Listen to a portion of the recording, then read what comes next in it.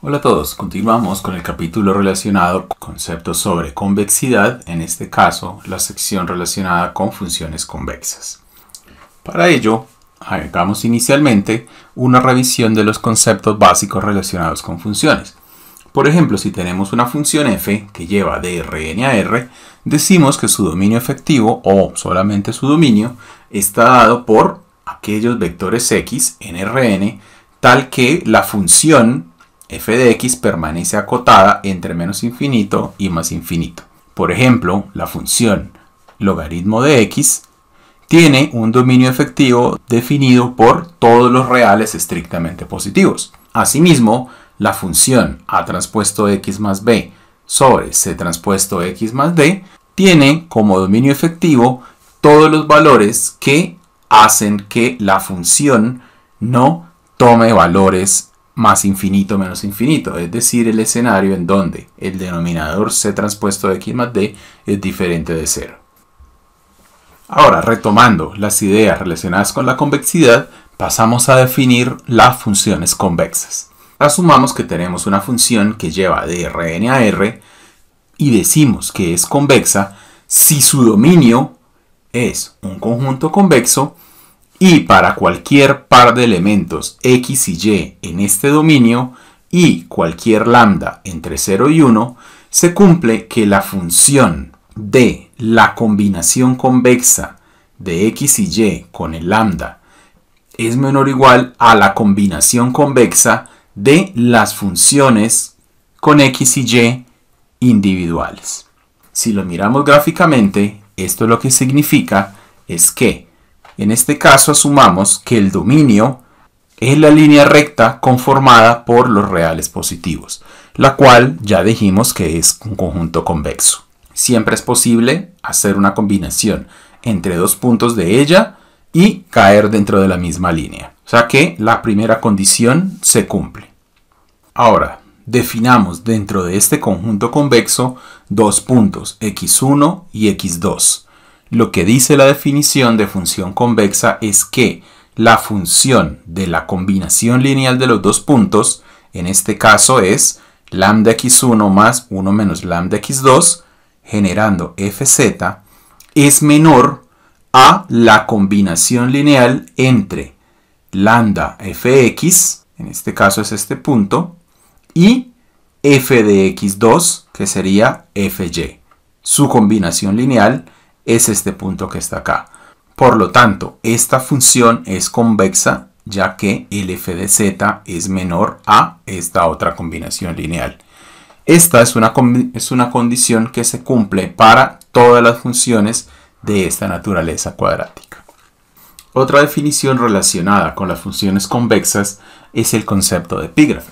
En este caso decimos que una función f que lleva de Rn a el conjunto menos infinito abierto más infinito cerrado es epígrafe, es decir, todos los puntos que caen por encima de la gráfica de la función es el conjunto dado por los x que pertenecen al dominio de la función y un t que pertenece a los reales tal que f de x es menor a t. Se debe cumplir que f es una función convexa si y solo si el epígrafo de f es una función convexa. En adición a la definición de función convexa presentada antes, existen otras posibles condiciones para la caracterización de una función convexa. La primera de ellas es la llamada condición de primer orden. Decimos que si f es una función diferenciable, es decir, el dominio de la función es abierto y existe el gradiente en la función en cualquier punto de ese dominio, entonces la función es convexa si solo si para pares x y y en el dominio de la función, la función evaluada en el punto y es mayor o igual a la función evaluada en el punto x más el gradiente de la función multiplicada por y menos x.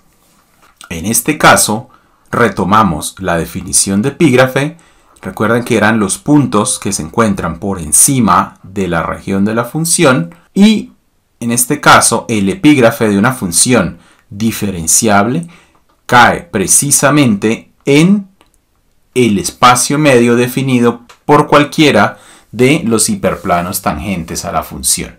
Es decir, tenemos un hiperplano definido aquí, el cual determina el espacio medio y el epígrafe de la función corresponde a lo descrito por este espacio medio. Similarmente, tenemos las condiciones de segundo orden.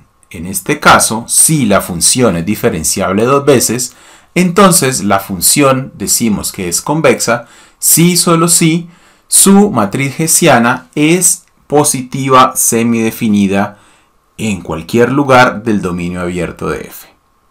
Esta es una de las caracterizaciones más comunes en relación con la convexidad de una función. Por ejemplo, consideremos un par de funciones cuadráticas en dos variables, la función p y q, dada por 4x1 cuadrado, 2x2 cuadrado, 3x1x2, 4x1, 5x2 más un término constante.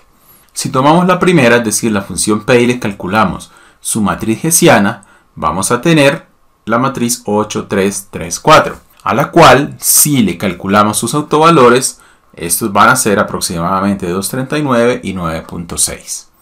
Lógicamente, si los dos autovalores son positivos, entonces la matriz es definida positiva. Por lo tanto, es convexa, ya que la matriz hessiana de la función es definida positiva. Gráficamente, se puede observar aquí que definitivamente esa función es convexa.